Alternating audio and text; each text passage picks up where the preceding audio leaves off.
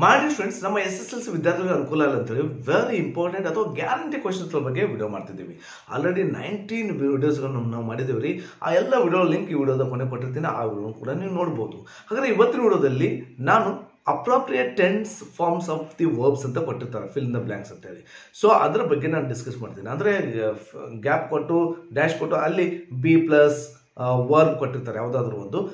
ಭಾಳಷ್ಟು ವಿದ್ಯಾರ್ಥಿಗಳಿಗೆ ಕನ್ಫ್ಯೂಷನ್ ಆಗ್ತಿರ್ತದೆ ಏನು ತುಂಬಬೇಕು ಸರ್? ಇಸ್ ಆರ್ ತುಂಬಬೇಕು ವಾಸ್ ತುಂಬಬೇಕಂತೇಳಿ ಸೊ ಅಂಥದ್ರ ಬಗ್ಗೆ ನಾನು ವೆರಿ ಇಂಪಾರ್ಟೆಂಟ್ ಕ್ವಶನ್ಸ್ ಬಗ್ಗೆ ಡಿಸ್ಕಸ್ ಮಾಡೋಣ ಓಕೆ ಈಸಿಯಾದ ವೇಗದಲ್ಲಿ ತಿಳಿಸ್ಲಿಕ್ಕೆ ಪ್ರಯತ್ನ ಮಾಡ್ತೀನಿ. This is Raju welcome to smart twenty smart student starter ಕೊಟ್ಟಿದ್ದೀನಿ ರೀ ಟ್ವೆಂಟೀನ್ತ್ ವಿಡಿಯೋ ಓಕೆ ಇಪ್ಪತ್ತನೇ ವಿಡಿಯೋ ಹಂಡ್ರೆಡ್ ಪರ್ಸೆಂಟ್ ಅತ್ಯಂತ ಪ್ರಮುಖವಾದ ಕ್ವಶನ್ಸ್ ಬಗ್ಗೆ ನಾವು ಡಿಸ್ಕಸ್ ಮಾಡ್ತಿದ್ದೀವಿ ರೀ ಸೊ ಇಪ್ಪತ್ತು ವಿಡಿಯೋಸ್ಗಳನ್ನ ನಾವು ಮಾಡಿದ್ದೀವಿ ಆಲ್ರೆಡಿ ಇವಾಗ.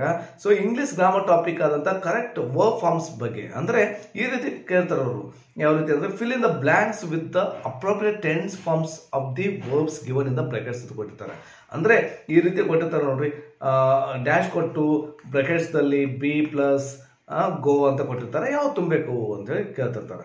ಸೊ ಇದ್ರ ಬಗ್ಗೆ ನಾವು ಡಿಸ್ಕಷನ್ ಮಾಡೋಣ ಓಕೆ ಎಸ್ ಕೊನೆಗೆ ನಾನು ಶಾರ್ಟ್ಕಟ್ ಮೆಥಡ್ ಕೂಡ ಹೇಳ್ತೇನೆ ರೀ ಓಕೆ ಹಾಗಾದ್ರೆ ಫಸ್ಟ್ ಒನ್ ಎಕ್ಸಾಂಪಲ್ ನೋಡಿ Tejas dash B study in tenth standard in G H S ಅಂತ ಕೊಟ್ಟಿದ್ದಾರೆ. ಏನೇ ಕೊಡಲಿ, ನಮಗೆ ಇಲ್ಲಿ ನೋಡ್ಕೋಬೇಕು. ಬಿ ಅಂದರೆ ಏನೇನು ಬರ್ಬೋದು ಅನ್ನೋದಕ್ಕೆ ನಾನು ಹೇಳ್ತೀನಿ ಮಾಡಿ ಸ್ಟೂಡೆಂಟ್ಸ್ ಬಿ ಅಂದರೆ ಯಾಮ್ ಈಸ್ ಆರ್ ಬರ್ಬೋದು, ಅಥವಾ ವಾಸ್ ವರ್ ಬರ್ಬೋದು. ಬಿ ಅಂದರೆ ಕಾಮನ್ ನಮ್ಮ ಎಸ್ ಎಸ್ ಎಲ್ ಸಿ ಇಷ್ಟು ಸಾಕು. ಬಿ ಅಂದರೆ ಯಾಮಿಸಾರ್ ಬರ್ಬೋದು, ವಾಸ್ ವರ್ ಬರ್ಬೋದು. ಸರ್ ಯಾಮಿಸಾರ್ ಯಾವಾಗ ಬರುತ್ತೆ ಅಂತಂದರೆ ಪ್ರೆಸೆಂಟ್ ಟೆನ್ಸ್ನಲ್ಲಿ ಇದ್ದರೆ ಯಾಮಿಸಾರ್ ಸರ್, ವಾಸ್ ವರ್ ಯಾವಾಗ ಬರುತ್ತೆ ಅಂದರೆ ಪಾಸ್ಟ್ ಇದ್ದ ಇದ್ದಾಗ ಓಕೆ ಗೊತ್ತಾಯ್ತಾ? ಹಾಗಾದ್ರೆ ಸ್ಟಡಿ ಇದ್ದದ್ದು ಏನೇನಾಗುತ್ತ? ಸ್ಟಡಿ ಇದ್ದದ್ದು ಏನೇನಾಗುತ್ತೆ ಅಂತ ಹೇಳ್ತೀನಿ. ಅಂದರೆ ವಿ ಒನ್ ಇರ್ತದೆ ಇದು ಇದ್ದಕ್ಕಾರ ಸ್ಟಡಿಂಗ್ ಅರೇ ಆಗ್ಬೋದು ಒಂದು, ಅಥವಾ ಸ್ಟಡಿಡ್ ಅರೇ ಆಗ್ಬೋದು ಅಂದರೆ ಪ್ರೆಸೆಂಟ್ ಪಾರ್ಟಿಸಿಪಲ್ ಅಂತ ಕರಿತೀವಿ, ಇದನ್ನ ವಿ ಫೋರ್ ಅಂತ ಕರೀನೋ ಇದು ಸ್ಟಡಿಡ್ ವಿ ತ್ರೀ ಅಂತ ಕೂಡ ಎರಡು ಆಗ್ಬೋದು. ಸರ್ ಸ್ಟಡಿ ಗಿಡಿ ಹಿಂಗೆ ನಾವು ವಿ ಒನ್ ಆಗೋದಿಲ್ಲ. ಚಾನ್ಸೇ ಇಲ್ಲ. ಬಿ ಪ್ಲಸ್ ಈ ರೀತಿ ಬಂದಾಗ ನಾನು ಹೇಳೋದನ್ನು ಕರೆಕ್ಟಾಗಿ ಕೇಳ್ರಿ. ಬಿ ಕೊಟ್ಟಾಗ ಈ ರೀತಿ ಬರುತ್ತೆ? ವಿ ಒನ್ ಕೊಟ್ಟಾಗ ಈ ರೀತಿ ಚಾನ್ಸಸ್ ಇರ್ತಾವ. ಹಾಗಾದ್ರೆ ಇಲ್ಲಿ ಯಾವ್ದಾಗುತ್ತೆ ಅಂತೇಳಿ. ಇಲ್ಲಿ ನೋಡಿ, ಈ ಸ್ಟಡಿಂಗ್ ಅಂತ ತುಂಬಿದ್ದೀವಿ is studying Tejas is studying ಅಂತ in tenth standard in J S S ಕಟ್ಟ ನನ್ನ ಪ್ರಕಾರ, ಇದೊಂದು ಎಕ್ಸಾಂಪಲ್ ನಾವು ತೊಗೊಂಡಿದ್ದು, ಬೇರೆದವ್ರು ಮಾಡಿದ್ದು. ಸರ್ ವಾ ಸ್ಟಡಿಂಗ್ ಬರೆದ್ರೆ ಏನು ತಪ್ಪಾಗುತ್ತೆ? ಏನು ತಪ್ಪಾಗೋದಿಲ್ಲ. ಅವ್ರು ಕೊಟ್ಟಂತ ಸ್ಟೇಟ್ಮೆಂಟ್ ಈ ರೀತಿ ಕೊಡಬಾರ್ದು ನಮಗೆ ಯಾಕೆ ಹೇಳ್ತೀನಿ ಅಂತಂದ್ರೆ ಇಲ್ಲಿ ಟೈಮ್ ಅಡ್ವರ್ಬ್ಸ್ ಇರಬೇಕು. ಟೈಮ್ ಅನ್ನು ತೋರಿಸುವಂತ ಯಾವ್ದಾದ್ರು ವರ್ಡ್ಸ್ಗಳು ಇಲ್ಲಿ ಇರಬೇಕು. ಕೊಟ್ಟಂತ ಸೆಂಟೆನ್ಸ್ ಅಲ್ಲಿ. ಸುಮ್ಮನೆ ಈ ರೀತಿ ಕೊಟ್ಬಿಟ್ರೆ, ಇಲ್ಲಿ ನಾವು ಪ್ರೆಸೆಂಟ್ ಕಂಟಿನ್ಯೂಸ್ ಟೆನ್ಸ್ ಅಂತ ಹೆಂಗೆ ಹೇಳ್ರಿ? ಈಗ ತೇಜಸ್ವಿ ಸ್ಟಡಿಂಗ್ ಅಂತ. ವಾಲ್ ಸ್ಟಡಿಂಗ್ ಕೂಡ ಆಗ್ಬೋದಲ್ಲ?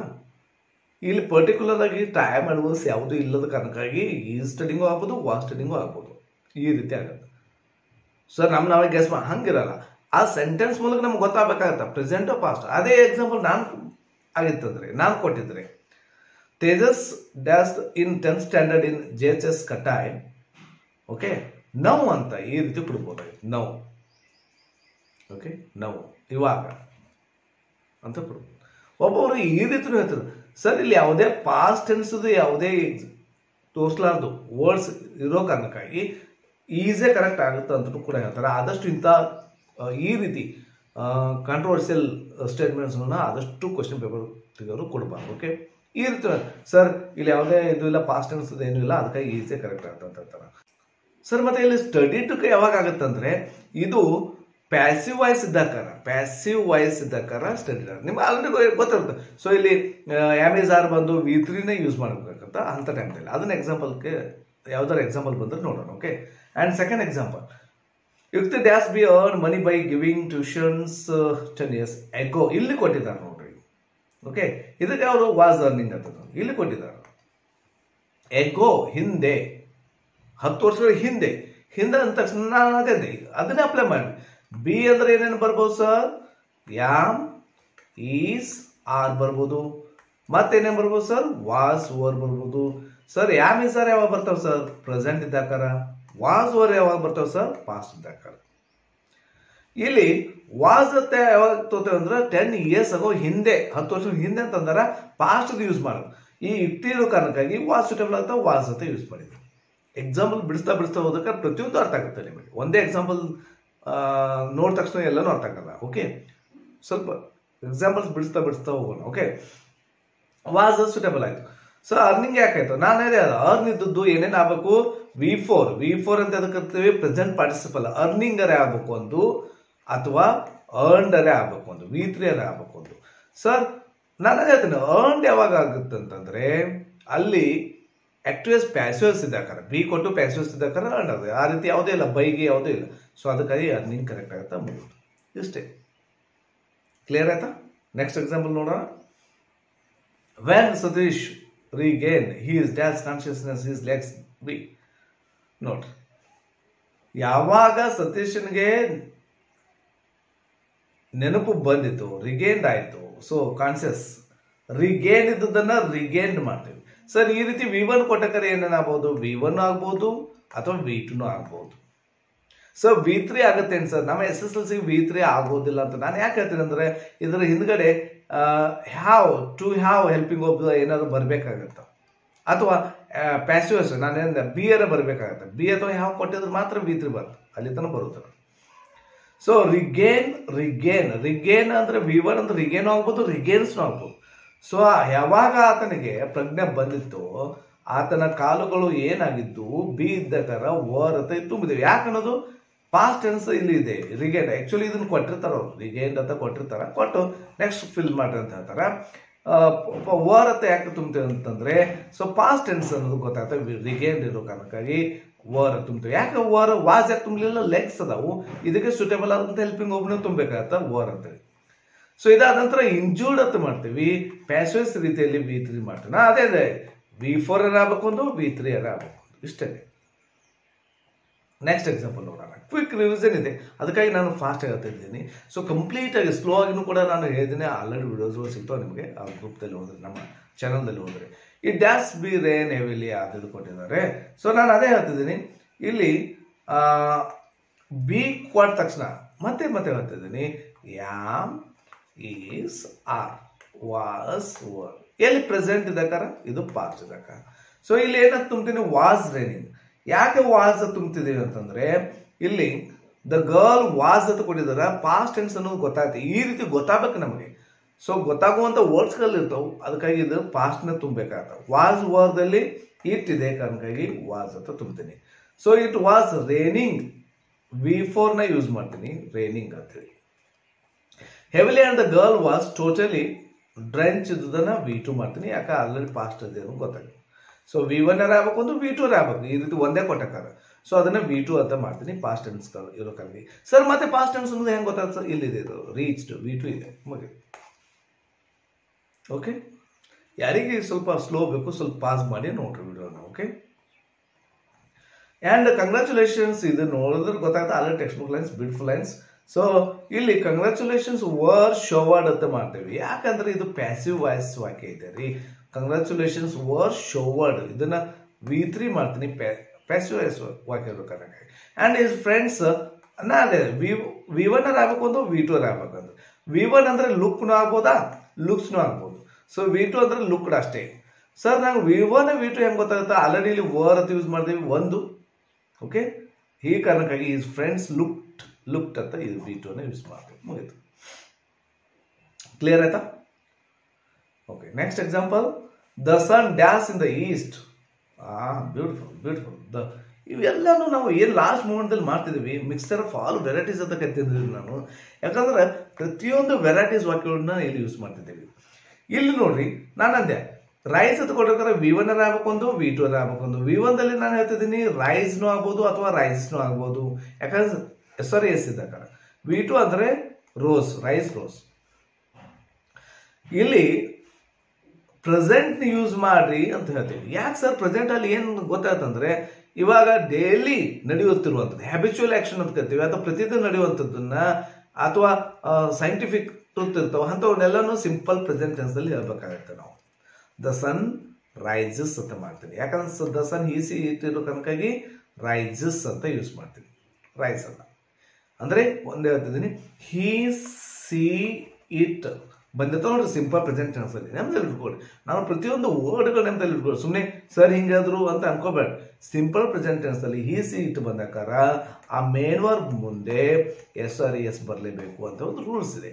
ಅದಕ್ಕೆ ದ ಸನ್ ರೈಸಸ್ ಅಂತ ಮಾಡ್ತೀನಿ. Rises in the east and sets in the west ಮುಗೀತು. And seventh example Satish dash with an accident and dash ಇಲ್ಲಿ ಆ್ಯಕ್ಚುಲಿ ನನ್ನ ನನ್ನ ಪ್ರಕಾರ ಈ ರೀತಿ ಕೊಡ್ಬೇಕು ರೀ ಮಾಡಿ ಸ್ಟೂಡೆಂಟ್ಸ್ ಇಲ್ಲಿ ಮ್ಯಾಟ್ ಅದು ಕೊಡ್ಬೇಕು ಅವರು. ಇಲ್ಲಿ ಕೊಡ್ತಾರೆ. ಅಂತ ಇದನ್ನು ತುಂಬ್ರಿ ಅಂತ ಹೇಳ್ತಾರೆ. Satish met with an accident ಯಾಕೆ ಆಲ್ರೆಡಿ ಆಕ್ಸಿಡೆಂಟ್ ಆಯಿತು? ಅದಾದ ನಂತರ ವಾಜ್ ಯಾಕೆ ತುಂಬಿದ್ರೆ ಇಲ್ಲಿ ಪಾಸ್ಟ್ ಟೆನ್ಸ್ ಇದೆ ವಿ ಟು ಇದೆ, ಅದಕ್ಕಾಗಿ ವಾಜ್ ತುಂಬ್ತೀನಿ. ವಾಜ್ ಯಾಕಂದ್ರೆ ಹೀರೋ ಕಣ ವಾಜ್ ತುಂಬ್ತೀನಿ. ಬ್ರೂಸ್ ಇದ್ದದ ಬ್ರೂಸ್ಡ್ ಮಾಡ್ತೀನಿ.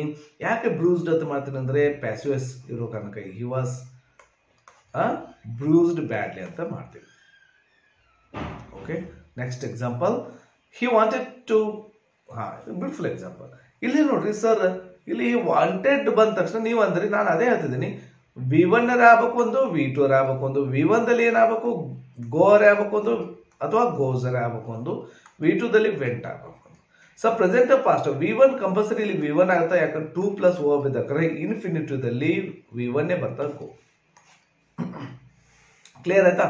ದ ಫಾರೆಸ್ಟ್ ಟು ಡ್ಯಾಸ್ ಮತ್ತೆ ಟೂ ಪ್ಲಸ್ ವರ್ ಬಂದಿದೆ ಪ್ಲೇನೆ couldn't get couldn't get same V one ಮುಗಿದು.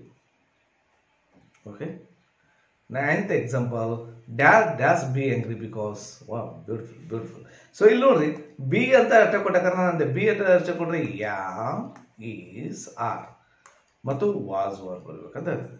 ಆ್ಯಕ್ಚುಲಿ ಒಂದು ಕೊಡ್ಬೇಕಾಯ್ತು. ಬಿಕಾಸ್ ವಿ ಡ್ಯಾಸ್ ಅಂದ್ರೆ ಇಲ್ಲಿ ಯಾವ್ದಾದ್ರು ಒಂದು ಕೊಡ್ಬೇಕು. ಡ್ಯಾಡ್ ಡ್ಯಾಡ್ ವಾಸ್ ಅಂತ ಕೊಡ್ಬೇಕು ಒಂದ್ ಕಡೆ. ಕೊಟ್ಟ ನಂತರ ಈಸಿ ಆಗುತ್ತೆ. ವಿ ಮೇಕ್ ಇದ್ದದ್ದು ವಿ ಟು ಆಗುತ್ತೆ.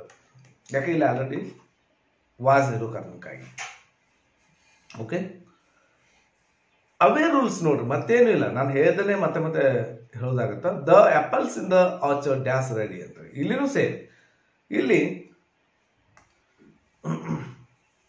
the apples in the V one present ಅಂದ್ರೆ ಪಾಸ್ಟ್ ಒಂದು ಆಗಬೇಕು ಇಲ್ಲಿ ಆ್ಯಪಲ್ಸ್ ಇರೋ ಕಾರಣಕ್ಕಾಗಿ ಇಲ್ಲಿ ಬಹುವಚನ, ಆರ್ ಅಂತ ತುಂಬ್ತೀವಿ.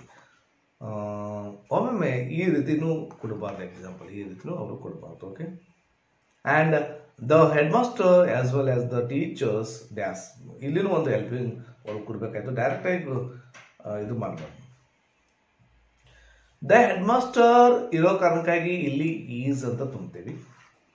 ಮೇಕ್ ಇದ್ದುದನ್ನ ಬ್ಯೂಸಿ ಮೇಕಿಂಗ್ ಅರೇಂಜ್ಮೆಂಟ್ ಅಂತ ಮಾಡ್ತಿದ್ದೇವೆ. ಮೇಕಿಂಗ್ ಅರೇಂಜ್ಮೆಂಟ್ ಈ ರೀತಿ ಇರೋ ಕಾರಣಕ್ಕಾಗಿ. ಸೊ ಅದಕ್ಕಾಗಿ making arrangement for the annual day ಅಂತ ಮಾಡ್ತೀವಿ.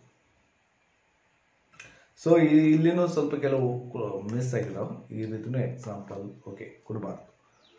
ಎಸ್ ನೆಕ್ಸ್ಟ್ ನಾನು ಯಾವುದನ್ನು ನಾನು ಹೇಳ್ತಿದ್ದೀನಿ, ಆ ಕ್ವಶನ್ಸ್ದಲ್ಲಿ ಎಕ್ಯುರೇಸಿ ಇರೋದಿಲ್ಲ. ಅದನ್ನು ನೀವು ಜಾಸ್ತಿ ಡಿಸ್ಕಷನ್ ಮಾಡಲಿಕ್ಕೆ ಹೋಗ್ಬೇಡ್ರಿ ಓಕೆ ನಾನೇ ಹೇಳ್ತಿದ್ದೀನಲ್ಲ, ಆ ರೀತಿ ಕೊಡಬಾರ್ದು ಅಂತ ಹೇಳ್ತಿದ್ದೀನಿ, ಮುಗಿದು. ಸೊ ಸರ್ ಇದು ಅದು ಬರ್ದಿರ್ತೇನೆ ಇದು ಬರ್ದಿರ್ತೇನೆ ವಿಚಾರ ಮಾಡ್ಲಿಕ್ಕೆ ಹೋಗ್ಬೇಡ್ರಿ ಅಂತ ಕ್ವಶನ್ಸ್ ಕೆಲವೊಮ್ಮೆ ಆಗುತ್ತೆ. ಓಕೆ ಸಮಟಿ ಡ್ಯಾಸ್ ಬಿ ಇಲ್ಲಿನೂ ಅದೇ ರೀತಿ ನಾನು ಈ ಬಿ ಅಂತ ಕೊಟ್ಟ ತಕ್ಷಣ ವಾಜ್ ಅಂತ ಇಲ್ಲಿ ಮೊದಲೇ ಕೊಡಬೇಕಾಗಿತ್ತು ಓಕೆ ಇಲ್ಲಿ ಒಂದು ಕಡೆ ಕೊಡಬೇಕು ವಾಜ್ ಅಂತ ಇದು ವಾಜ್ ಅಂತ ಕೊಟ್ಟ ಇಲ್ಲಿ ರೀಸ್ಡ್ ಅಂತ ಬಿ ಟು ಯೂಸ್ ಮಾಡಲಿಕ್ಕೆ ಈಸಿ ಆಗುತ್ತೆ ಓಕೆ ಒಂದು ಕಡೆ ಕೊಡಬೇಕು. ಕೆಲವೊಂದು ಕ್ವಶನ್ಸ್ ನಮಗೆ ನಮಗೆ ಸ್ಯಾಟಿಸ್ಫ್ಯಾಕ್ಷನ್ ಅನ್ಸೋದಿಲ್ಲ ಓಕೆ ಈ ರೀತಿ ಕೊಡಬಾರ್ದಂತ. ಅಂತ ಇಲ್ಲಿನೂ ಅದೇ ರೀತಿ. ಸೊ ಅದಕ್ಕಾಗಿ ನಾನು ಅದಕ್ಕೆ ಜಾಸ್ತಿ ಡಿಸ್ಕಷನ್ ಕೂಡ ಮಾಡುವುದಿಲ್ಲ. ಆ್ಯಂಡ್ ಇಲ್ಲಿ ಸ್ಪೀಕ್ಸ್ ಅಂತ ಕೊಡಬೇಕು. ಕೊಟ್ಟ ನಂತರ ಏನಾಗುತ್ತಾ? ಸೊ ನೆಕ್ಸ್ಟ್ ಇಲ್ಲಿ ಪ್ರೆಸೆಂಟ್ ಅನ್ನೋದು ಗೊತ್ತಾಗುತ್ತಾ? ಪ್ರೆಸೆಂಟ್ ಅಂದರೆ ಹ್ಯಾಸ್ ಅಂತ ಕೊಟ್ಟಿದ್ದಾರೆ. ಹ್ಯಾಸ್ನೂ ಆಗ್ಬೋದು ಹ್ಯಾವ್ನೂ ಆಗ್ಬೋದು. ಹ್ಯಾಸ್ ಕೊಟ್ಟಿದ್ದಾರೆ ಅಂತ ಕೊಡಿ ಅವಾಗ ಸಿ ಇರೋ ಕಾರಣಕ್ಕೆ ಹ್ಯಾಸ್ ಕರೆಕ್ಟ್ ಆಗುತ್ತಾ? ಸ್ಟಡಿ ಇದ್ದುದನ್ನು ನಾನು ಅದೇ ಅಂದೆ. ಈ ಸ್ಟಡಿ ಇದ್ದುದನ್ನು ವಿ ಫೋರ್ ಆಗ್ಬೇಕೊಂದು ವಿ ತ್ರೀ ಆಗ್ಬೇಕೊಂದು ಇಲ್ಲಿ ಹ್ಯಾಸ್ ಬಂದಿದೆ ಪ್ರೆಸೆಂಟ್ ಪರ್ಫೆಕ್ಟ್ ಟೆನ್ಸ್ನಲ್ಲಿ ಯಾವಾಗಲೂ ವಿ ತ್ರೀ ಬರ್ತಾ ಸ್ಟಡಿಡ್ ಅಂತೇಳಿ ಗೊತ್ತಾಯ್ತಾ? ಹ್ಯಾಸ್ ಸ್ಟಡಿಡ್ ಅಂತ ಮಾಡ್ತೀವಿ. ಆ್ಯಂಡ್ ಫೋರ್ಟೀನ್ತ್ ಎಕ್ಸಾಂಪಲ್ ನೈದರ್ ಅಜು ನಾರ್ ಓಕೆ ಇದು ಗೊತ್ತಾಗುತ್ತೆ ನಿಮಗೆ. ನೈದರ್ ನಾರ್ ಬಂದಕರ ಈಸ್ ಅಂತ ಯೂಸ್ ಮಾಡ್ತೀವಿ ಸಿಂಗ್ಯುಲರ್ ಯೂಸ್ ಮಾಡ್ತೀವಿ. ಈಸ್ ಟೆಲ್ಲಿಂಗ್ ಈಸ್ ಟೆಲ್ಲಿಂಗ್ ಅಂತ ಮಾಡ್ತೀವಿ. ಬೋತ್ ಆರ್ ಅಂತ ಮಾಡ್ತೀವಿ. ಇಬ್ರು ಇರೋ ತನಕಾಗಿ ಆರ್ ಅಂತ ಮಾಡ್ತೀವಿ ಲೈಕ್ ಅಂತ ಮಾಡ್ತೀವಿ. ನೈದರ್ ನಾರ್ ಬಂದಕರ is negative ಬಂದಕಾರ last example Ashwini one of my friends dash be so evening this evening ಅಂತ ಕೊಟ್ಟಿದ್ದಾರೆ ನೋಡ್ರಿ ಇಲ್ಲಿ. ಈ ರೀತಿ ಕೊಟ್ಟರೆ ಖುಷಿ ಅನ್ಸುತ್ತೆ. ದಿಸ್ ಈವ್ನಿಂಗ್ ಅಂದ್ರೆ ಪ್ರೆಸೆಂಟ್ ಪ್ರೆಸೆಂಟ್ ಅಂದ್ರೆ ಆಮೆಜಾನ್ದಲ್ಲಿ ಯೂಸ್ ಮಾಡ್ಬೇಕಂತ. ಆಮೆಜಾನ್ದಲ್ಲಿ ಅಶ್ವಿನಿ ಇರೋ ಕಾರಣಕ್ಕಾಗಿ ಇಲ್ಲಿ ಈಸ್ ಅಂತ ಯೂಸ್ ಮಾಡ್ತೀವಿ. ಫ್ರೆಂಡ್ಸ್ ಇರೋ ಕಾರಣಕ್ಕಾಗಿ ಅಲ್ಲ. ಅಶ್ವಿನಿ ಇರೋ ಕಾರಣಕ್ಕೆ ಈಸ್ ಅಂತ ಯೂಸ್ ಮಾಡ್ತೀವಿ. ವಿಸಿಟ್ ಇದ್ದದ್ದು ವಿ ಫೋರ್ ಆಗ್ಬೇಕೊಂದು ವಿ ತ್ರೀ ಆಗ್ಬೇಕೊಂದು. ಇಲ್ಲಿ ವಿಸಿಟಿಂಗ್ ಅಂತ ಮಾಡ್ತೀನಿ. ವಿ ಫೋರ್ನ ಯೂಸ್ ಮಾಡ್ತೀನಿ. ಪ್ರೆಸೆಂಟ್ ಪಾರ್ಟಿಸಿಪಲ್ನ ಯೂಸ್ ಮಾಡ್ತೀನಿ. ಮುಗೀತು. ಎಸ್ ಮುಂದೆ ಟಾಪ್ ಫಿಫ್ಟೀನ್ ಕ್ವಶನ್ಸ್ ಮಾಡಿದ್ದೀವಿ. ಕೆಲವು ಕ್ವಶನ್ಸ್ಗಳು ನನಗೆ ಸ್ಯಾಟಿಸ್ಫ್ಯಾಕ್ಷನ್ ಇರಲಿಲ್ಲ okay yes right shortcut method ಏನು ಸರ್ ಅಂದ್ರೆ ನೀವು ನೋಡ್ಕೋಬೇಕು, ಕೊಟ್ಟಂತ ಏನು ಪ್ರೆಸೆಂಟ ಪಾಸ್ಟ್ ಅನ್ನೋದು ನೋಡ್ಕೊಡ್ರಿ ನೋಡ್ಕೊಂಡ ನಂತರ ಅದನ್ನು ಫಿಲ್ ಮಾಡಲಿಕ್ಕೆ ಪ್ರಯತ್ನ ಮಾಡಿ ಮೇನ್ ಅದೇ ಬೇಕು ಸೊ ಪ್ರೆಸೆಂಟ್ ಪಾಸ್ಟ್ ಅಂದ್ರೆ ಹೆಂಗೆ ಗೊತ್ತಾತ? ಅಲ್ಲಿ ಗೊತ್ತದೆ ವ್ಯಾಮಿಸಾರ್ ವಾಜ್ ಓವರ್ ಅಥವಾ ಟೈಮನ್ನು ತೋರಿಸುವಂಥ ಟೈಮ್ ಅಡ್ವರ್ಬ್ಸ್ಗಳು ಇಲ್ಲಿ ಇರ್ತಾವೆ yesterday today next day tomorrow ಈ ರೀತಿ ಇರ್ತಾವೆ. ಅಂಥ ವಾಕ್ಯ ನೋಡಿದ ತಕ್ಷಣ, ಅಂಥ ವರ್ಡ್ಸ್ ನೋಡಿದ ತಕ್ಷಣ ನಿಮ್ಗೆ ಗೊತ್ತಾಗುತ್ತೆ? ಪ್ರೆಸೆಂಟ್ ಪಾಸ್ಟ್ ಅಂತ ಹೇಳಿ. ಅದನ್ನು ನೋಡಿ, ಆಮೇಲೆ ಫಿಲ್ ಮಾಡೋದು ಇರುತ್ತೆ ಓಕೆ ಇದಾದ ನಂತರ ಆ್ಯಕ್ಟಿವಸ್ ಮೇಲೆ ಒಬ್ಬ ನೋಡ್ರಿ. ಆಕ್ಟಿವಸ್ ಪ್ಯಾಸಸ್ ಇದೇನೋ, ಏನಿದೆ ನೋಡಿಕೊಂಡು ಫಿಲ್ ಮಾಡ್ರಿ okay yes sir very important ವಿಡಿಯೋಸ್ಗಳು ಮಾಡಿದ್ದೆ. ಆಲ್ರೆಡಿ ಇದು ಇಪ್ಪತ್ತು ವಿಡಿಯೋ ಅಂತ ಹೇಳಿದೆ. ಸೊ ಟೋಟಲ್ ಇಪ್ಪತ್ತು ವಿಡಿಯೋಸ್ಗಳು ಮಾಡಿದ್ದೀವಿ. ಇಲ್ಲೇನು ಪ್ಲೇ ಲಿಸ್ಟ್ ಬರ್ತದೆ ನೋಡಿ ಅದ್ರ ಮೇಲೆ ಕ್ಲಿಕ್ ಮಾಡಿರಿ. ಎಲ್ಲ ವಿಡಿಯೋಗಳನ್ನ ನೀವು ನೋಡ್ಕೋಬಹುದು two marks three marks yes a grammar ಎಲ್ಲನೂ ನಾನು ಡಿಸ್ಕಷನ್ ಮಾಡಿದ್ದೀನಿ. ಓಕೆ ಎಸ್ ಸೊ ಇಲ್ಲಿಗೆ ನಮ್ಮ ವಿಡಿಯೋ ಮುಗಿತಾ ನಮ್ಮ ವಿಡಿಯೋ ನಮ್ಮ ಪ್ರಯತ್ನ ಇಷ್ಟ ಇಷ್ಟವಾದಲ್ಲಿ ಲೈಕ್ ಮಾಡಿರಿ ಶೇರ್ ಮಾಡಿರಿ ಸಬ್ಸ್ಕ್ರೈಬ್ ಆಗಿರಿ ನಮ್ಮ ಚಾನಲ್ ಕೂಡ ಸಪೋರ್ಟ್ ಮಾಡ್ಬೋದು ಜಾಯ್ನ್ ಆಗೋದ್ರ ಮೂಲಕ. Thank you for watching have a nice day